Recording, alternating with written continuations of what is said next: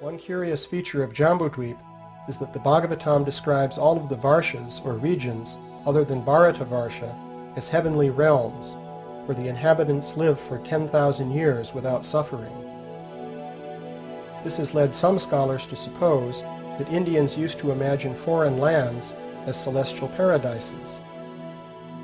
However, the Bhagavatam does refer to barbaric peoples outside India, such as Huns, Greeks, Turks, and Mongolians, were hardly thought to live in paradise.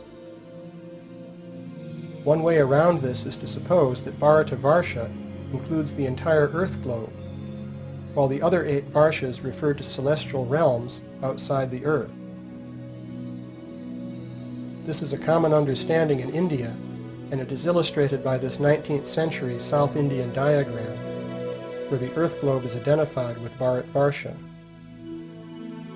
But the simplest explanation of the heavenly features of Jambudweep is that Bhumandala was intended to represent the realm of the demigods. Like the other interpretations we have considered, this one is based on a cluster of mutually consistent points in the cosmology of the Bhagavatam. The first point is that the demigods are portrayed as being so large that we are literally like ants in comparison with them. For example, this picture shows the size of Lord Shiva in relation to Europe, based on dimensions given in the Bhagavatam. This explains the enormous sizes attributed to mountains, trees, and other features in Jambudweep.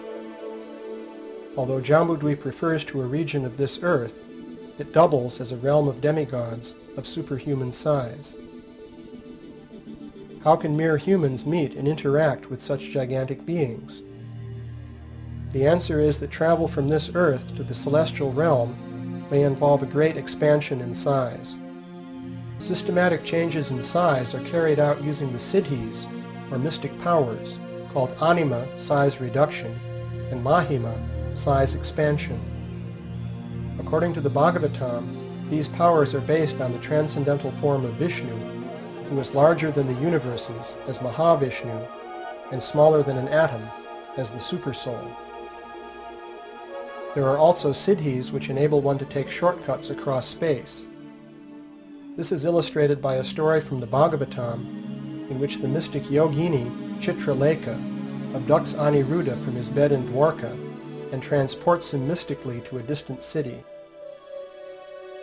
In addition to moving from one place to another in ordinary space, the mystic siddhis enable one to travel in the all-pervading ether or to enter another continuum.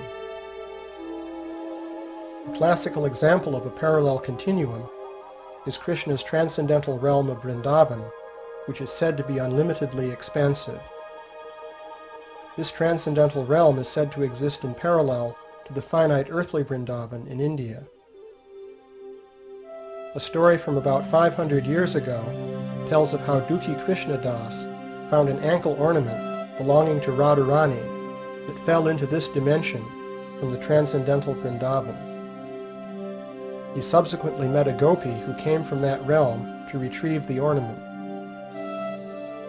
Later on, Dukhi Krishna Das, who is now known as Shyamananda, entered the same transcendental realm in meditation. Thus the transfer from one continuum to another depends on the traveler's state of consciousness. The Sanskrit literature abounds with stories of parallel worlds. For example, the Mahabharata tells the story of how Arjuna was abducted by the Naga princess Ulupi while bathing in the Ganges. Arjuna was pulled down into the kingdom of the Nagas, which exists in another dimension. The idea of parallel worlds linked by mystical travel explains how the worlds of the demigods and still higher beings are connected with our world.